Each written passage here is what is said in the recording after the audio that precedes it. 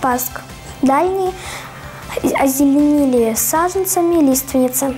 Сотрудники Приморского лесничества и министерства. Лесного хозяйства посадили 24 тысячи молодых берё- деревьев.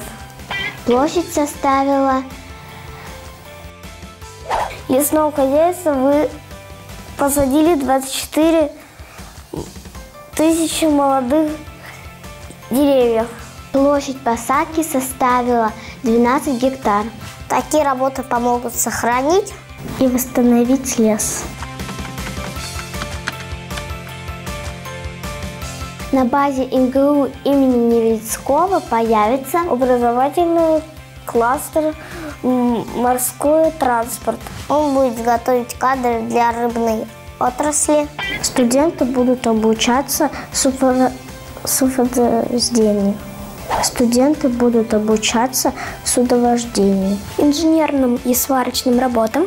Первый набор учеников начнется уже в этом году.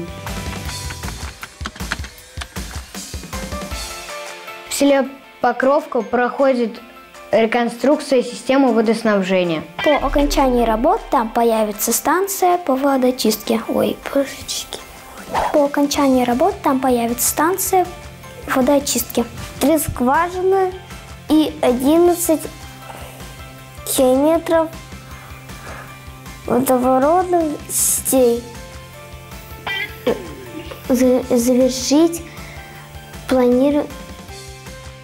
завершить реконструкцию планируется до конца года.